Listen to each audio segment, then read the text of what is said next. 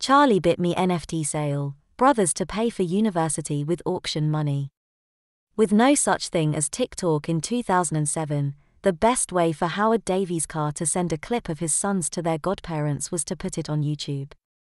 Some 14 years and 885 million views later, the clip of baby Charlie biting his brother Harry's finger is still one of the internet's most viewed videos. As well as fame, the video has brought riches, it recently sold as a non fungible token, or NFT, for £500,000. The boys now say they'll use the money to go to university. Harry, who is now 17, tells Radio 1 Newsbeat he wants to study some kind of engineering at either University College London or Imperial College London. Charlie, now 15, isn't yet sure what he wants to study.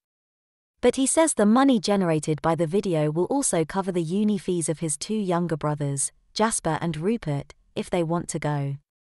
I can't even remember doing it so making money off it, and having experiences off it, is really cool, Charlie says. We've been to America twice from it, I went round Sky Studios, and we've met a lot of cool people.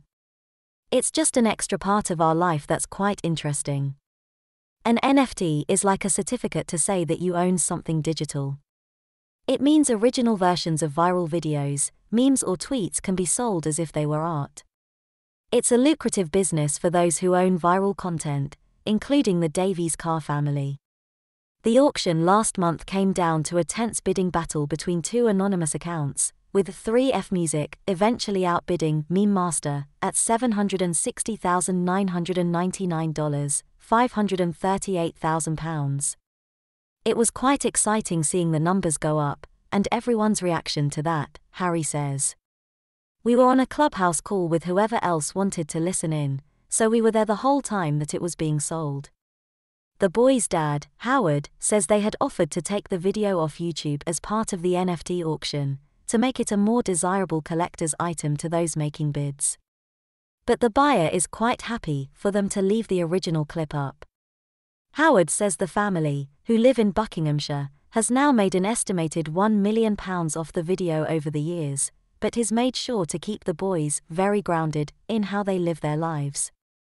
The biggest change to our life is that instead of having two children, or three children, we have four children, and we saw the money as a way that actually we can afford that comfortably, he adds.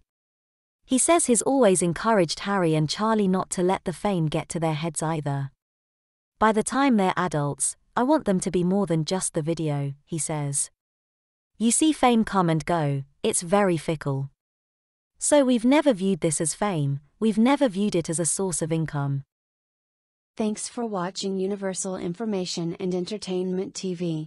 Please like and subscribe our channel for more updated videos, news, information and entertainment. See you in next video. Stay tuned.